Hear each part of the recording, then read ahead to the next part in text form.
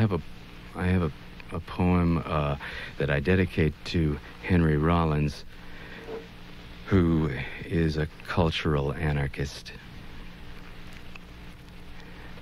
And it's called Ammunition. I got a weapon. It's really my perception. I know who's free and I know who's a slave, and I'm waiting for the world to admit it's insane. I know what I know can sound hyper because I can't really let you know what I know until I see what I say on my typer. I know who's free and I know who's a slave, and I'm waiting for the world to admit it's insane. I know what movies are made by demons on binges. I know what music swings on hideous hinges.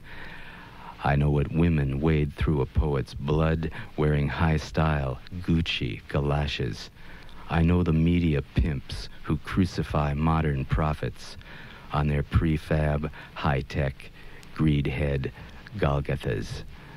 I know who's free and I know who's a slave, and I'm waiting for the world to admit it's insane.